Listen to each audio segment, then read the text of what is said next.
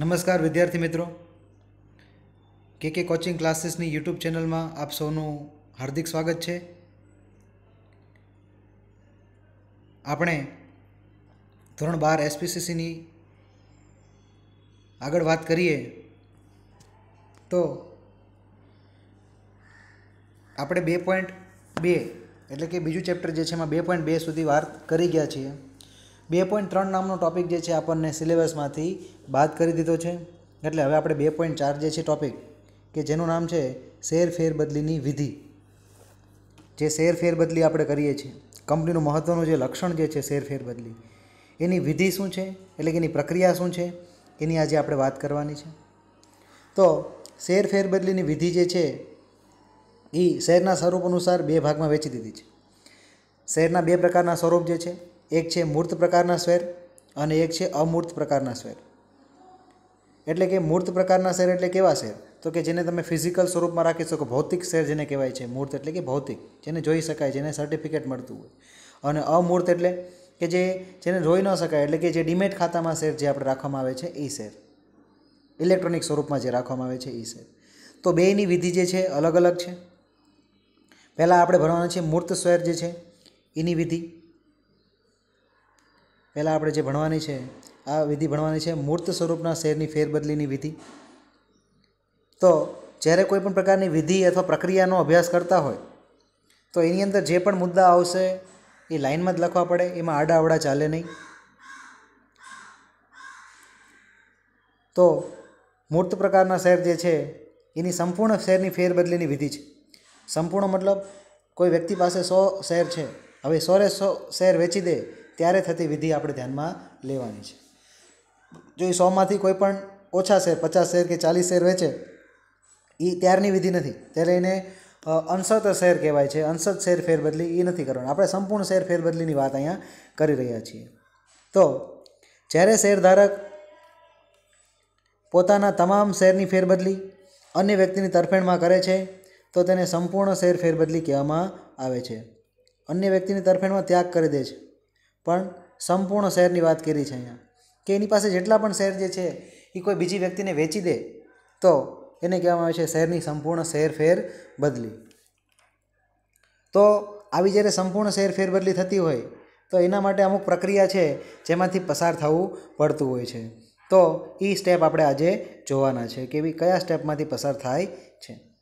તો એની અંદર પ્રથમ પગથિયું આવે છે, જેનું નામ છે શેર ફેરબદલીનું ફોર્મ નોંધાવવું. શેર ફેરબદલી અંગે કંપની ધારાની અંદર નિયત કરેલું ફોર્મ જે છે એ ફોર્મ તમારે નોંધાવવું પડે છે. જેમ કે, શેરની ફેરબદલી કરનારાએ શેર ફેરબદલી અંગેનું ફોર્મ મેળવવું પડે છે અને તેના પર કંપની રજિસ્ટ્રારનો સિક્કો લગાવી અથવા તારીખ પણ નખાવવા પડે છે.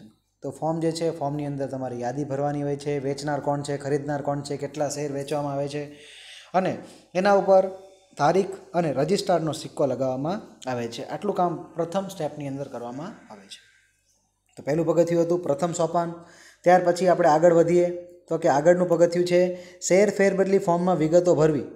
ફોર્મ તો લઈ આવ્યા, તારીખ, સિક્કો બધું લાગી ગયું. હવે એની અંદર શું કરવાનું છે? જે પણ વિગતો આપી છે ફોર્મની અંદર એ ફોર્મ જેમાં વિગતો ફિલ કરવાની હોય છે.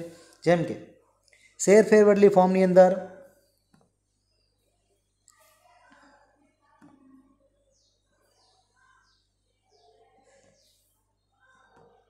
શેર ફેરબદલી ફોર્મમાં શેર વેચનાર અને શેર ખરીદનાર. બંનેની સંપૂર્ણ વિગતો, એમનું નામ, સરનામું, કઈ કંપનીના શેર છે, શેર પ્રમાણપત્રનો ક્રમાંક નંબર, શેરની કિંમત વગેરે વિગતો ભરવાની હોય છે. જો કેટલી બધી વિગતો ભરવાની હોય છે. એક તો ખરીદનાર કોણ છે, વેચનાર કોણ છે, એમના નામ, એમની સંપૂર્ણ વિગતો, એમના સરનામા, એમના મોબાઈલ નંબર, કઈ કંપનીના શેરની લેવેચ થઈ રહી છે, એ કંપનીનું નામ. દરેક તમને જ્યારે શેર ખરીદો એટલે એના સાથે શેર પ્રમાણપત્ર મળે અને એ પ્રમાણપત્રનો નંબર હોય છે જેને કહેવાય છે શેર પ્રમાણપત્ર ક્રમાંક નંબર. એ નંબર કેટલો છે એ પણ દર્શાવવાનો છે. શેરની કિંમત કેટલી છે? આ વગેરે વિગતો ભરવાની હોય છે. એટલે કે પ્રથમ સ્ટેપ હતું ફેમ ફોર્મ મેળવવાનું છે. બીજાની અંદર તમે ફોર્મની વિગતો ભરો છો. અને તેમાં નિયત, તેમાં નિયમ પ્રમાણે જરૂરી સ્ટેમ્પ લગાડીને સાક્ષીની હાજરીમાં સહી કરવી પડે છે. અને નિયમ મુજબ જેટલો પણ સ્ટેમ્પ હોય એ સ્ટેમ્પ પણ તમારે ભરવો પડે છે. અને એક વિટનેસની સહીમાં હાજરીમાં સહી કરવાની હોય છે. અને સાક્ષીએ પણ પોતાની વિગતો નામ સરનામું ધંધો વગેરે જણાવવું પડે છે. એટલે શહેરની લે વેચની પ્રક્રિયા જે છે, એની અંદર જે વ્યક્તિ વિટનેસ તરીકે છે આઈ વિટનેસ જે છે, એને પણ પોતાની વિગતો નામ સરનામું અને કેવો પ્રકારના ધંધામાં જોડાયેલો છે, એને એ પણ વિગતો લખવી પડે છે. તો બીજું સ્ટેપ હતું શેર ફેરબદલી ફોર્મની અંદર વિગતો ભરવી. તો એ વિગતો પણ આપણે ભરી નાખીએ છીએ. તો ત્યાર પછી આગળના સ્ટેપમાં આપણે વધીએ. તો આગળનો સ્ટેપ જે છે સ્ટેપ નંબર ત્રણ, જેનું નામ છે શેર ફેરબદલી ફોર્મ અને શેર પ્રમાણપત્ર મોકલવાના છે. હવે આપણે બે પ્રકારનું એક ફોર્મ ભરી દીધું છે. આ ફોર્મ આખું ભરી દીધું હમણાં. અને આપણને જ્યારે શેર મેળવ્યા હોય, તેની સાથે શેર સર્ટિફિકેટ હોય, પ્રમાણપત્ર. તો આ પ્રમાણપત્ર જે છે એ આપણે મોકલવાના છે કંપનીને કે ભાઈ અમે આ શેર ફોર્મ, આટલા, આ ફોર્મ વેચવાના છે શેર. અને આ જે વેચવાના શેર જે છે, એનું પ્રમાણપત્ર કંપનીને આપણે મોકલવાનું રહે છે. જોઈએ તો એમાં. શેર ખરીદનાર જાતે અથવા શેર દલાલ મારફતે શેર ફેરબદલી ફોર્મ અને તેની સાથે શેર પ્રમાણપત્ર જે તે કંપનીની રજિસ્ટર ઓફિસને મોકલાવે છે. અને જો શેર પ્રમાણપત્ર કંપનીએ ન આપેલ હોય તો શેર મંજૂરીપત્ર પણ મોકલી આપવામાં આવે છે. અમુક સમયે કંપનીએ જે પ્રમાણપત્ર ન મોકલેલું હોય શેરનું, તો એવા સમયે કંપનીની જ્યારે શેર મંજૂર થયા હોય તો એનો મંજૂરીપત્ર મળેલો હોય. તો બેમાંથી જે હોય છે મોકલવામાં આવે છે. પરંતુ ત્રીજો સ્ટેપ એ છે કે જે ફેરબદલીનું ફોર્મ ભર્યું છે આપણે અને જે પ્રમાણપત્ર છે શેરનું, એ કંપનીને મોકલવામાં આવે છે. તો એ પણ મોકલી દીધું ત્રીજા સ્ટેપની અંદર. ચોથો સ્ટેપ જે છે ફોર્મ મોકલ્યાની પહોંચ મેળવવી પડે છે. તમે ફોર્મ મોકલ્યા કે તમારી પાસે પ્રૂફ શું કે તમે મોકલેલો છે? તમારી પાસે શું પ્રકારની એવી સિક્યોરિટી છે કે તમે કહી શકો કે ના, અમે કંપનીને ફોર્મ મોકલ્યું છે. તો એના માટે પહોંચ લઈ લેવી પડે છે. કંપનીને જ્યારે શેર ફેરબદલી ફોર્મ અને શેર પ્રમાણપત્ર મળે છે, ત્યારે તે મળ્યાની પહોંચ કંપની સેક્રેટરી શેર ખરીદનારને મોકલે છે. જે વ્યક્તિ શેર આ ખરીદનાર છે, એને આ પહોંચ મોકલી આપે છે કે તમારા આટલા શેરની પહોંચ અમને મળી છે. આ પહોંચને ટ્રાન્સફર રિસિપ્ટ, આ પહોંચને કંપનીએ મોકલેલ, મોકલાવેલ શેર પ્રમાણપત્ર અને દસ્તાવેજની સાથે દસ્તાવેજની પહોંચ છે. ટૂંકમાં તમને જે પહોંચ મળે છે, તમે કહી શકો છો કે કંપનીને સર્ટિફિકેટ, કંપનીને ફોર્મ આપ્યો છે, એનો પ્રકારનો આપણા પાસે એક પ્રૂફ છે. એ પહોંચ મેળવવાની હોય છે. એ પણ થઈ ગયું. ત્યાર પછી આવે છે શેરની ફેરબદલી અંગેની જાણ કરવાની છે નોટિસ દ્વારા. ત્યાર પછી કંપનીનું કામકાજ આવે છે. તો જે કંપનીને જ્યારે શેર ફેરબદલી ફોર્મ મળે છે, ત્યારે તે શેર ફેરબદલી ફોર્મ અને શેર પ્રમાણપત્રની ચકાસણી કરે છે કે ભાઈ સાચું છે? ત્યારબાદ બંને પક્ષકારોને ફેરબદલી અંગેની જાણ નોટિસ દ્વારા કરે છે. તો કંપની પાસે એ ફોર્મ આવી જાય છે. તો કંપનીને બે પક્ષકારની માહિતી મળી જાય છે. ખરીદનાર કોણ છે? વેચનાર કોણ છે? તો કંપની તપાસ કર્યા પછી બંનેને જાણ કરે છે આ ફેરબદલી અંગેની. અને આ નોટિસનો હેતુ એવો હોય છે કે ભાઈ બનાવટી શેર ફેરબદલી અટકાવવાનો છે. જો નોટિસ મોકલે બે પક્ષકારને તો બે પક્ષને જાણકાર થાય, જાણ મળે કે ભાઈ અમે આ પ્રક્રિયા કરેલી છે કે નથી કરેલી.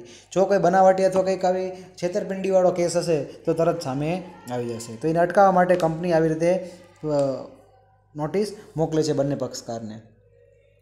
જો આ ફેરબદલી અંગે કોઈ પણ પક્ષકારને વાંધો ન હોય એટલે કે વાંધા અરજી ન હોય, તો બે સપ્તાહની અંદર જણાવવા માટે કહેવામાં આવે છે. તો બે પક્ષકારને માન્ય છે તો જ શેર ફેરબદલી કરેલી છે. તો બે હપ્તા એટલે કે પંદર દિવસની અંદર એની જાણ કરવાનું કહેવામાં આવે છે. મુદત પૂરી થતાં સુધીમાં કોઈપણ પક્ષ દ્વારા વાંધો ઉઠાવવામાં આવે અથવા ન આવે, તો ફેરબદલી બંને પક્ષને માન્ય છે એમ માની લેવામાં આવે છે. બે સપ્તાહ એટલે કે પંદર દિવસનો સમય આપવામાં આવે છે. આ પંદર દિવસની અંદર કોઈપણ પ્રકારની વાંધા અરજી ન આવે એટલે કે બે પક્ષને મંજૂર છે આ શેર ફેરબદલી. એમ કંપની માની લે છે અને એ ફેરબદલી માન્ય ગણે છે. ત્યાર પછી છઠ્ઠો સ્ટેપ શેર ફેરબદલી પત્રકમાં નોંધ કરે છે. કંપની શેર ફેરબદલી પત્રક માટે નોંધ, પત્રક રાખે છે, એની અંદર નોંધ કરે છે. કંપની બંને પક્ષને નોટિસ આપ્યા બાદ નિયત મુદતમાં જો કોઈ પ્રકારની વાંધા અરજી ન આવે તો બંને પક્ષની સંમતિ છે તેમ માનીને શેર ફેરબદલી પત્રકમાં સેક્રેટરી દ્વારા નોંધ કરવામાં આવે છે. કે સપ્તાહ પૂરા થઈ ગયા બે, પણ હજી પણ એક પણ પ્રકારની અરજી નથી આવી, એટલે કોઈને વાંધો નથી એમ કંપની માની લે છે અને શેર ફેરબદલી માટેનું જે પત્રક રાખે છે એની અંદર કંપની નોંધ કરે છે. અને જેના નામે જેના નામે શેર ફેરબદલી કરવામાં આવી છે, તેનું નામ શેર ફેરબદલી પત્રકમાં નોંધવામાં આવે છે. એટલે કે જે જૂનું હોય છે, જૂના નામ, એનું નામ કાઢી આપવામાં આવે છે, નવા નામ, એટલે કે જે ખરીદનાર જે છે, એનું નામ શેર ફેરબદલી પત્રકમાં નોંધવામાં આવે છે. અને ત્યાર પછીનું પ્રોસેસ આગળ વધે છે કંપનીની અંદર. તો કે શેર ફેરબદલીની મંજૂરી અંગેનો ઠરાવ કરાવો. પછી કંપનીમાં સેક્રેટરી ઠરાવ પસાર કરે છે. જે તે કંપનીના સેક્રેટરી પાસે શેર ફેરબદલી અંગેની અરજીઓ આવેલ હોય, તો તેના ઉપર ચર્ચા વિચારણા કરી ફેરબદલી માન્ય કરવામાં આવે છે અથવા અમાન્ય કરવામાં પણ આવે છે. તો માન્ય, અમાન્ય સેક્રેટરી દ્વારા ઠરાવ પસાર કરીને કરવામાં આવે છે.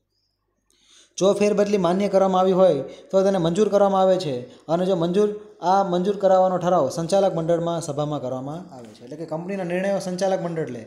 કોણ લે છે? સંચાલક મંડળ. તો કંપની પાસે સેક્રેટરી આવી બધી અરજીઓ લઈને મંડળ પાસે મિટિંગમાં જશે અને મિટિંગમાં કહેશે કે ભાઈ આ વ્યક્તિ આટલા શેર વેચવા માંગે છે અને આ ખરીદનાર છે. એની અંદર એ અરજીનો પ્રસ્તાવ મૂકે છે અને એની અંદર માન્યતા મળે તો એ મંજૂર કરવામાં આવે છે. પણ મંજૂર કરશે કોણ? સંચાલક મંડળ. મંજૂર થઈ ગયા. ત્યાર પછી શું કરશે? કંપનીએ સભ્યપત્રકમાં નોંધ કરવાની હોય છે. કંપનીના જે લોકો શેર ધરાવતા હોય, એ કંપનીના સભ્યપત્રકની અંદર એનું નામ આપવામાં આવે છે. તો અહીંયા હવે શું થશે? તો જે વેચનાર જે છે, એનું નામ સભ્યપત્રકમાંથી નીકળી જશે અને જે ખરીદનાર જે છે, એનું નામ સભ્યપત્રકમાં એડ કરવામાં આવશે. તો શેરની ફેરબદલી મંજૂરી અંગેનો ઠરાવ થયા પછી સભ્યપત્રકમાંથી શેર વેચનારનું નામ રદ કરીને જેના નામે ફેરબદલી થઈ છે એટલે કે ખરીદનાર છે એનું નામ સભ્યપત્રકમાં નોંધ કરવામાં આવે છે. આવી રીતે એની નોંધ થાય છે અને છેલ્લે નવા શેર પ્રમાણપત્ર અથવા નવા શેર ધારકને મોકલવામાં આવે છે. હવે જૂના શેર ધારકનું જે શેર પ્રમાણપત્ર હતું એ કંપની જપ્ત કરી લે છે અને એની સ્થાને નવું શેર પ્રમાણપત્ર ઇસ્યુ કરે છે અથવા એમાં જે ખરીદનાર છે એનું નામ લખીને એ નવું પત્રક મોકલવામાં આવે છે અને નવા શેર ધારકને સભ્યપદ મળી જાય છે. તો ઉપર પ્રમાણે શેર ફેરબદલી અંગેનો ઠરાવ થયા પછી અને સભ્યપત્રકમાં નામ ઉમેર્યા પછી સેક્રેટરી શેર પ્રમાણપત્રની પાછળની બાજુએ નિયત કરેલ જગ્યાની અંદર નવા શેર ધારકનું નામ લખે છે અને જવાબદાર અધિકારીની સહી સિક્કા સાથે શેર પ્રમાણપત્ર નવા શેર ધારકને મોકલી આપે છે. નવો જે ખરીદનાર જે છે એને બધું નવું પ્રમાણપત્ર મળે છે. પરંતુ જો શેર પ્રમાણપત્ર ખૂબ જ જૂનું થઈ ગયું હોય અને નામ નોંધવા માટે જગ્યા પણ ન હોય, તો નવું શેર પ્રમાણપત્ર ઇસ્યુ કરવામાં આવે છે. ટૂંકમાં એક પ્રમાણપત્ર જે છે એની અંદર ઘણા બધા હવે ખરીદ વેચાણ થઈ ગયું છે. એટલે એની અંદર હવે નામ નથી નવા શેરધારકનું લખવા માટે. તો પછી નવું પ્રમાણપત્ર મોકલી આપવામાં આવે છે. અને નવું પ્રમાણપત્ર મોકલતા જ જે ખરીદનાર જે છે એ કંપનીનો સભ્ય બની જાય છે. તો આવી રીતે નવ સ્ટેપની અંદર શેરની સંપૂર્ણ ફેરબદલી જે છે એની, એટલે કે મૂર્ત પ્રકારના શેરની ફેરબદલી કરવામાં આવે છે. આ વિધિ જે છે એ તમને પૂછી શકે છે. તો આ હતી મૂર્ત પ્રકારના શેરની શેર ફેરબદલી હવે આપણે એવી જ રીતે જોવાનું છે કે આ આંશિક એટલે સંપૂર્ણ શેર ફેરબદલી જોઈએ. આંશિક શેરની ફેરબદલી અંગેની વિધિ જોઈ લઈએ. તો જ્યારે શેરધારક પોતાની માલિકીના બધા શેર પૈકી થોડાક જ શેર અન્ય વ્યક્તિને વેચવા માંગતો હોય, ત્યારે મૂળ શેરધારક શેરનું વિભાજન કરવા માંગે માટે કંપની રજિસ્ટ્રારની ઓફિસને મોકલે છે અને સેક્રેટરી જે તે શેરધારકની માંગણા અનુસાર શેરનું વિભાજન કરી શેરધારકને મોકલી આપે છે. ત્યારબાદ શેરધારક પોતાના જેટલા શેર વેચવા મા- વેચવા વેચવા માટે હોય એટલા ઉપર આ પ્રમાણેની પ્રક્રિયા પ્રમ- પ્રમાણેનું વેચાણ કરે છે. ટૂંકમાં અહીંયા આંશિક ફેરબદલી છે. શેરધારક પાસે સો શેર છે સોમાંથી એંસી જ વેચવા માંગે છે. તો એંસી અન્યને મળી જશે જ્યારે વીસ એના પાસે રહેશે એટલે આની અંદર સભ્યપત્રકમાં બંનેના નામ રહે છે. વેચનારનું પણ રહે છે, ખરીદનારનું પણ રહે છે. અને જેને નવા શેર ખરીદ્યા છે, એનું નામ અહીંયા એડ કરવામાં આવે છે. પણ ઉપર મુજબની જ વિધિ આમાં કરવામાં આવે છે. આ વધારે પૂછાવામાં આવતું નથી. તો બે પ્રકારના શેર હતા, મૂર્ત અને અમૂર્ત. આપણે મૂર્ત પ્રકારના શહેરનો વિધિ કરી ગયા ફેરબદલીની. હવે આપણે અમૂર્ત પ્રકારના, એટલે કે જે ટ્રાન્સફર ડિમેટ શેર જે છે, જે ઇલેક્ટ્રોનિક સ્વરૂપની અંદર શેર વેચાણ થઈ રહ્યું છે અને મોડર્ન ટાઈમની અંદર એ જ છે, તો એની વિધિ કેવી રીતની હોય છે? એ સિમ્પલ છે, જોઈ લઈએ આપણે કેવી રીતની હોય છે. તો અમૂર્ત સ્વરૂપના શેરની ફેરબદલી. કોઈપણ શેરધારક મૂર્ત સ્વરૂપે શેર રાખી શકે છે, પરંતુ નવી જોગવાઈ અનુસાર શેરધારક આવા શેરનું વેચાણ કરી શકતો નથી. એટલે કે નવા કંપની ધારા મુજબ એનું વેચાણ થઈ શકતું નથી. તેને જો આવા શેરનું વેચાણ કરવું હોય, તો તેને મૂર્ત સ્વરૂપના શેરનું અમૂર્ત પ્રકારના શેરમાં ફેરવવું પડે છે. એટલે કે વેચાણ કરવા માટે તમારે ડીમેટ સ્વરૂપમાં ફેરવવું પડે છે. વેચાણ સિવાયનું હસ્તાંતરણ કેટલાક સંજોગોમાં કરી શકાય છે. દાખલા તરીકે પોતાના શેર કોઈને ભેટમાં તમે આપી શકો છો. તો ઉપરની વિધિ અપનાવી પડતી અપનાવવી પડે છે. તો અમૂર્ત પ્રકારના શેર આપણે કોઈને ભેટમાં આપી શકીએ છીએ. હવે અત્યારે નવા કંપની ધારા મુજબ તમારે શેરનું ખરીદ વેચાણ કરવા માટે એને ઇલેક્ટ્રોનિક સ્વરૂપમાં રાખવું પડે છે અને ઇલેક્ટ્રોનિક સ્વરૂપમાં રાખવા માટે તમારે ડીમેટ ખાતામાંથી જ વહીવટ કરવો પડે છે. જેમ કે ડીમેટ ડીમેટ શેર એટલે કે ભૌતિક પ્રકારના શેરને ઇલેક્ટ્રોનિક સ્વરૂપમાં નિશ્ચિત પ્રક્રિયા અંતર્ગત રૂપાંતરિત કરવામાં આવે છે. એટલે ઇલેક્ટ્રોનિક સ્વરૂપમાં શેરને લઈ જવામાં આવે છે. જેમાં રોકાણકારો ડિપોઝિટરી પાસે ડીમેટ ખાતું ખોલાવવું પડે છે. ડિપોઝિટરી છે બે પ્રકારની આપણે સાથે, એટલે મધ્યસ્થીઓ છે, જેને આપણે એનએસડીએલ એનએસડીએલ અને સીડીએસએલ તરીકે ઓળખીએ છીએ. તો ભારતમાં ડિપોઝિટરી કે નેશનલ સિક્યુરિટીઝ ડિપોઝિટરી લિમિટેડ, એટલે કે NSDL, national securities depository limited, અથવા central central depository services India limited. એટલે કે સીડીએસએલ આમ બે પ્રકારની સેવા આપતી સંસ્થાઓ જે છે, જે આ અંગેની જામીનગીરીઓ સાચવવા માટે એજન્ટ તરીકેનું કામ કરે છે. એટલે કે તમારે જ્યારે પણ આવું અમૂર્ત પ્રકારના શેરનું ખરીદ વેચાણ કરવું હોય, તો આ બે સંસ્થાઓ વટી વહીવટ થાય છે. આ સંસ્થાઓથી સરકારી અને ખાનગી ક્ષેત્રની બેન્કો જે છે, એ શેરધારક તેમજ અન્ય નાણાકીય સંસ્થાઓમાં ડીમેટ ખાતું ખોલાવવામાં આવે છે. ટૂંકમાં તમે બેંકની અંદર આવું ડીમેટ ખાતું ખોલાવીને આ ડિપોઝિટરી સાથે લિંક કરાવવાનું હોય છે. અને આવી સંસ્થા પાસે ખાતું ખોલાવ્યા બાદ તે સંસ્થા ખાતેદારને ઇન્સ્ટ્રક્શન એટલે કે ઇન્ટિમેશન સ્લીપ આપે છે કે જેનો ઉપયોગ ખાતાધારક શેર ખરીદ વેચાણ માટે કરી શકે છે. એના માટે તમને આઈડી ને એવું બધું મળે છે અને જેના માધ્યમથી તમે શેરનું ખરીદ વેચાણ ઇલેક્ટ્રોનિક સ્વરૂપની અંદર કરો છો. અને ઇલેક્ટ્રોનિક સ્વરૂપની અંદર શેરનું ખરીદ વેચાણ થાય તો બહુ સિમ્પલ થઈ જાય છે. બહુ સિમ્પલ થઈ જાય છે કે જે તે કંપનીના પોતાના શેરધારકોના કોણ છે તે પોતાના કમ્પ્યુટર ઉપર એનએસડીએલ સીડીએસ દ્વારા ફળાવેલા વેબસાઇટ ઉપર જોઈ શકે છે, પરંતુ કંપની તેમાં કોઈ પણ પ્રકારનો ફેરફાર કરી શકતી નથી. એટલે તમે તમારા શેરનું ખરીદ વેચાણ જે છે, ઇલેક્ટ્રોનિક સ્વરૂપની અંદર, કમ્પ્યુટર મોબાઈલની અંદર જોઈ શકો છો. આપણને આ ઇન્સ્ટ્રક્શન સ્લીપનો નમૂનો આપ્યો છે, તમે જોઈ લેજો એ તો આ ઇન્સ્ટ્રક્શન સ્લીપના આધારે એજન્ટ અથવા બેંક અથવા સંસ્થા શેરની ખરીદ વેચાણ કરે છે? ખરીદ વેચાણની પ્રક્રિયા ઓનલાઈન કમ્પ્યુટર ઉપર થાય છે, મોબાઈલમાં પણ થાય છે. જે વ્યક્તિ શેરની ખરીદી કરી આ રીતે કરે છે. તે શેર ઉપર તેના, કરે છે.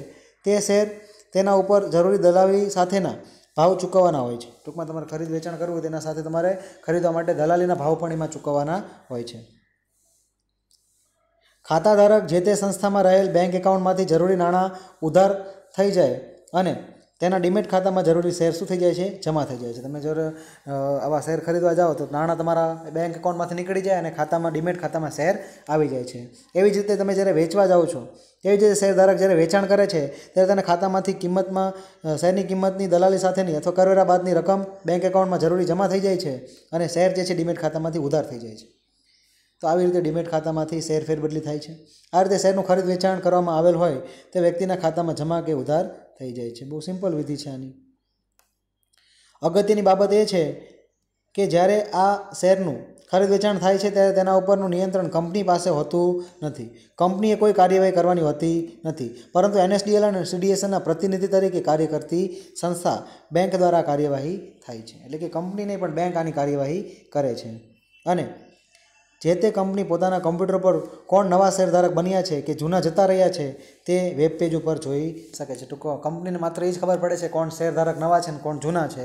એમાં કોઈ બીજું પ્રકારનું નિયંત્રણ રાખી શકતી નથી. તો મિત્રો ચાર પોઈન્ટ, બે પોઈન્ટ ચાર જે છે એ શેરની ફેરબદલીની વિધિ છે. બે વિધિ આવી ગઈ આની અંદર. મૂર્ત પ્રકારના શેરની, અમૂર્ત પ્રકારના શેરની, મૂર્ત પ્રકારના શેરની અંદર બે પ્રકારના શેર હતા. એટલે કે એની અંદર સંપૂર્ણ શેર ફેરબદલી અને આંશિક શેર ફેરબદલી. અહીંયા સુધી આપણે રાખીએ.